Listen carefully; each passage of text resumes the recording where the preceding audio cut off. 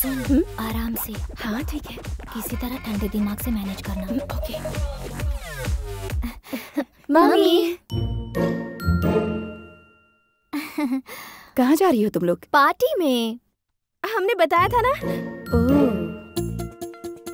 Mummy ये सब क्या है? Mummy what are you doing हाँ। ये लकीर दिखनी नहीं चाहिए। इसे मिटा दूँ क्या मम्मी?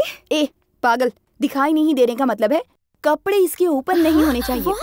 Party mummy! ये लाइन क्लोज होगी तभी वो डोर ओपन होगा। चंदू!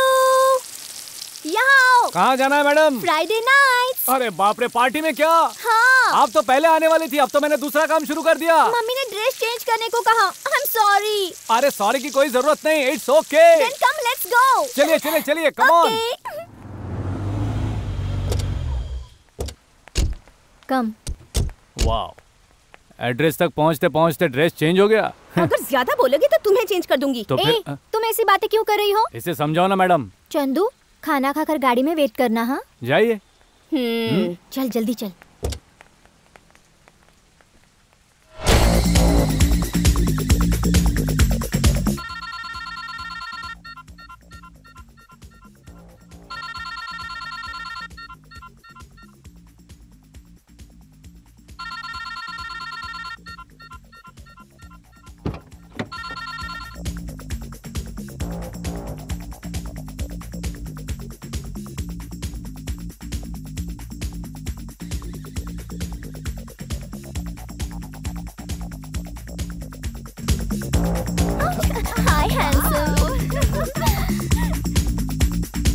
हाय हाय क्या तुम सिंगल हो? एक्सक्यूज मी अकेले आए हो?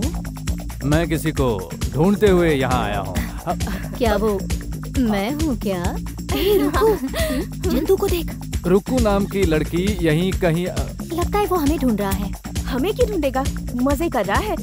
क्या मैं खूबसूरत नहीं हूँ। हाँ हाँ, खूबसूरत हो ना। तुम्हारा नाम क्या है? चंदू मेरा नाम। ओह चंदू। तुम्हारा इरादा क्या है। चंदू? देखिए मैं उस टाइप का नहीं हूँ मैं किसी तो क्या इसका मतलब हम उस टाइप के हैं? आ, बिल्कुल नहीं।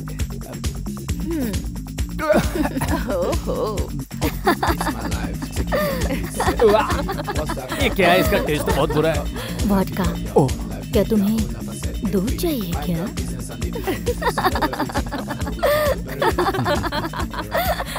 एक अल्फाज में अपने आप को गलत साबित कर दिया।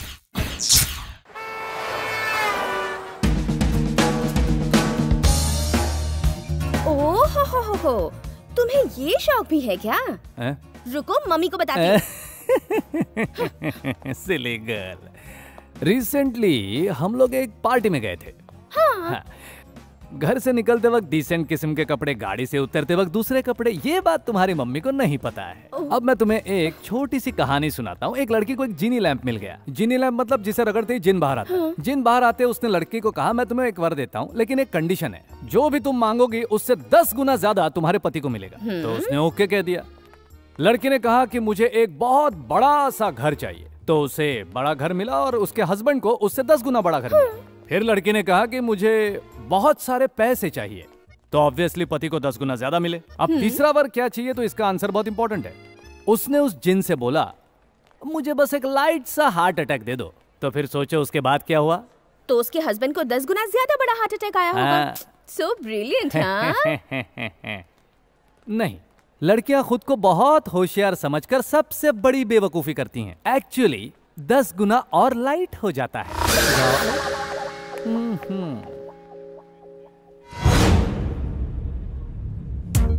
देख तुझे चलना होगा। नो अदर ऑप्शन जाना है क्या? नहीं। हम्म, हम्म। अरे क्यों मारा तुमने चंदू? हैं? इंदु जी अगर कोई लड़की से बदतमीजी करेगा तो यही हशर होगा ना? पर कहीं तुम्हें चोट लग गई तो? ड्राइवर! चंदू! आओ! अरे ड्राइवर हुआ तो क्या हुआ? इंसान हो ना? मुझे नाम से पुकारो। बॉयज़ दोबारा ऐसी हरकत बिल्कुल नहीं करना ओके चलिए आइए।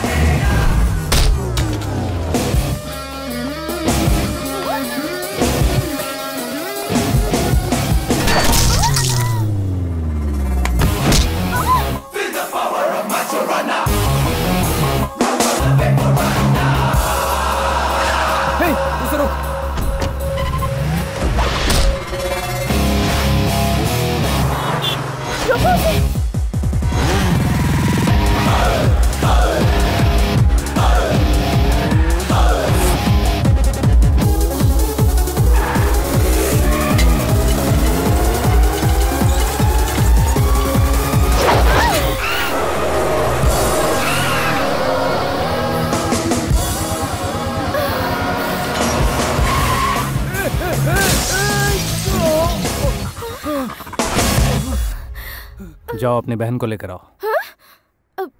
उसके साथ और भी लोग हैं चंदू। लड़कियों को या तो आँसू बहाना आता है या हमारे आँसू निकालना।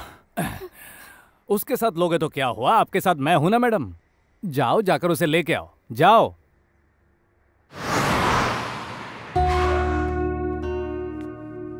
ये बताओ कौन थे वो लोग? मुझे नहीं पता डैडी। उसे देखोगी तो पहचान पाओगी। हम्म। भैया पुलिस कंप्लेंट करो। हाँ भैया उन्हें ऐसे ही नहीं छोड़ना चाहिए। हम्म। पुलिस कंप्लेन से क्या हो सकता है क्या नहीं ये मैं अच्छी तरह जानता हूँ। एक लॉयर होने के नाते कह रहा हूँ कि कोर्ट कचहरी के चक्कर लगाने से कुछ हासिल नहीं होगा। इनविटेशन देने के टाइम पर इन्वेस्टिगेशन नहीं करना चाहिए। Correct sir. इस बात को देखकर अनदेखा करना ही अच्छा है। चंदू ने हम पर कोई एहसान किया है ये सोचकर उसे सम्मानित करना ठीक नहीं रहेगा। चंदू कहाँ है? उसे कुछ हुआ तो नहीं ना? उसने ही तो मारा उन गुंडों को। उसे क्या होगा? बहुत नेक इंसान है। आज दूसरी बार उसने मेरे दिल को बचाया है।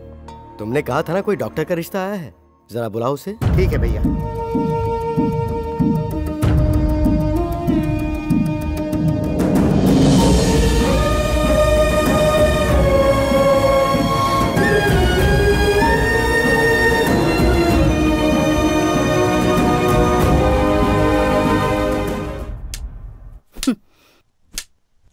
जब मेरे पापा गुस्से में रहते थे तो वो भी बिल्कुल इसी तरह।